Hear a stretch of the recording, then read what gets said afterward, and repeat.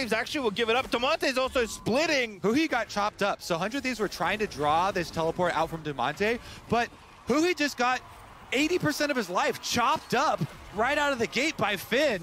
Viego's on you, and guess what? You can't force the teleport. They're going to take the turret bottom side, and now they're forcing on 100 Thieves. CLG have the possibility to turn themselves here. Wild Turtle, Ashe Arrow is up. TPing now. Here's Damonte. Somebody can't join us. The 5v4 for CLG. Arrow hits FBI, but he cleanses it Oh off. And now the Baron is going to be it. Damonte gets it, but can CLG get out safely? Finn is trying to do what he can, but who is low as Broxah kicks in FBI. That is such a good play. Gives away his life to kill that one. And now Finn is trying to pop off.